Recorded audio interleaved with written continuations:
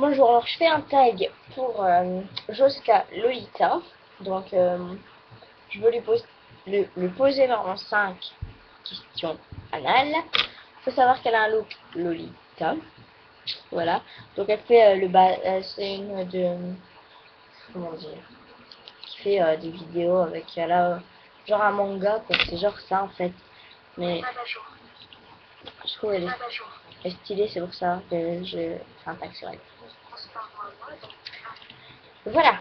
Donc en plus dans dans sa vidéo le bazar de ma coiffeuse, elle montre une boule comme ça euh, que euh, la maman africaine elle met là comme ça, collier.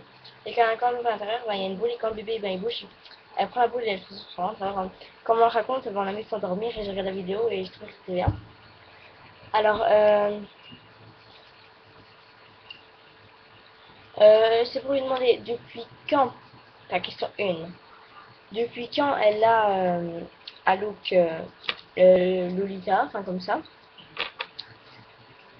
Question de si tes sœurs, elles ont le même look que toi, donc Lolita, voilà quoi. Question 3. combien as-tu de paires de chaussures euh, genre un manga, donc avec grosses chaussures comme ça. C'est lui ça, non?